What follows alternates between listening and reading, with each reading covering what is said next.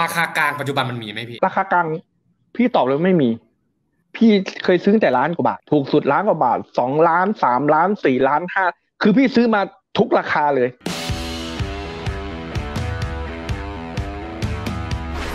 เปิดยังไงก็หาไม่เจอครับ ถามเสร็จก่อนซิ่งครับ ใน EP นี้นะผมยังคงที่จะพยายามเสิร์ชหา Honda NSX Gen แรกนะครับ มือ 2 ปรากฏว่าก็ยังหา ไม่ได้เหมือนเดิมในเว็บขายรถทั่วไป เพราะฉะนั้นวันนี้ครับถามเซียนก่อนซิ่ง ผมยังคงอยู่กับพี่ล้านศักชัยเกลียงสมุทรจากเพจล้านเรื่องเยอะนะครับ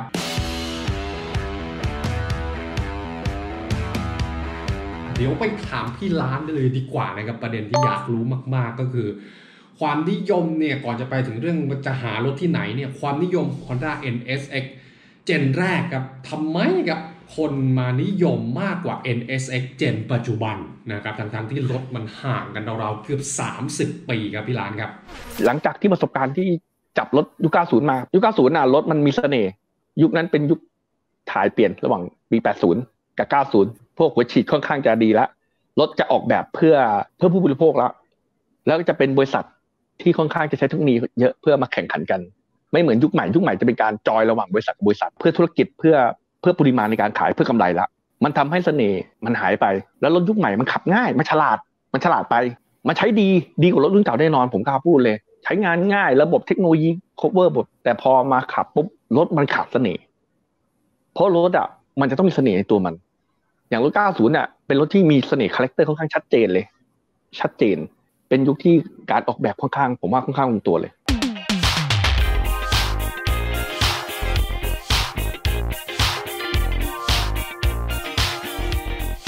NSX ตัวใหม่อะมันไม่มันไม่ไม่บูมไม่นิยม มันทำให้ตัวเก่าอะถีบขึ้นราคาสวนทางกัน ตัวนั้นตอนนี้มือสองก็สิบสิบห้าสิบเจ็ดล้านนะตัวใหม่ แต่ตอนเนี้ยตัวธรรมดาเกียร์เกียร์ธรรมดา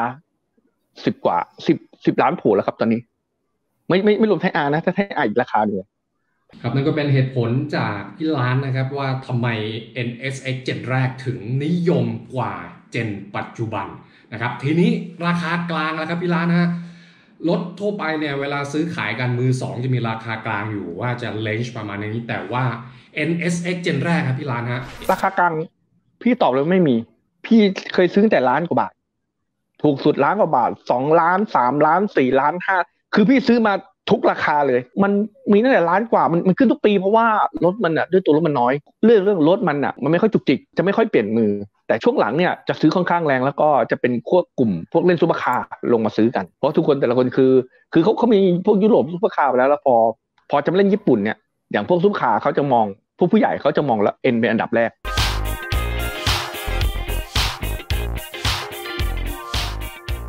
รถมันดีอย่างส่วนมากไม่ค่อยเสีย